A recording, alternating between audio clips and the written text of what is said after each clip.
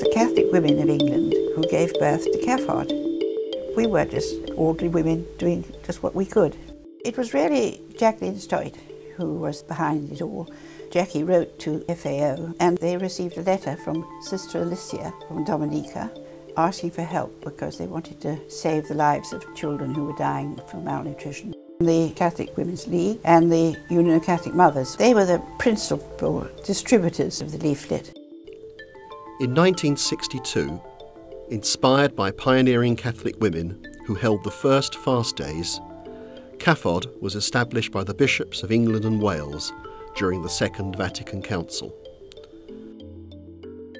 This gave us our mandate to work for justice and human development in some of the world's poorest communities. The Catholic community putting faith into action.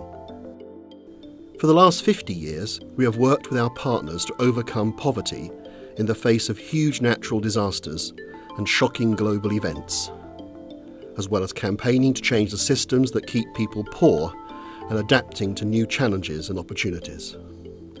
Our work is made possible not only by the passion and commitment of hundreds and thousands of supporters here at home, but by the Caritas family, Catholic agencies on the ground in parishes and dioceses all over the world, and by women and men religious, reaching the most vulnerable every day. United by our vision of just one world, and driven by compassion, solidarity, and love, we are called to work for lasting change. There are huge challenges ahead. Globally, these remain a changing climate and the world economic crisis. But three basic issues facing every poor community are shortages of water, food, and energy, underpinned by continuing powerlessness and lack of education. It is up to our generation of CAFOD to respond to the new signs of the times and walk in solidarity with those among us who need help. As we look ahead to the next 50 years, we will continue to strive for a world where every human person can flourish and live in safety and dignity.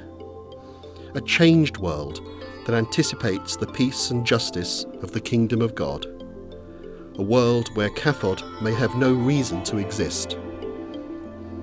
Working together, we can transform this hope into a reality.